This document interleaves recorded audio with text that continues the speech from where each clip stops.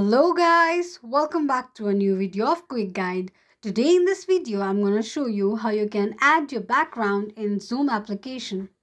Watch the video till the end and don't forget to subscribe to our channel by hitting the subscribe button. Also, press the notification bell icon so that YouTube will notify you whenever we post a new video.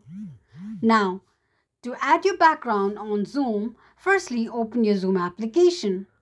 Join or host your meeting. Turn on your mic as well as your video.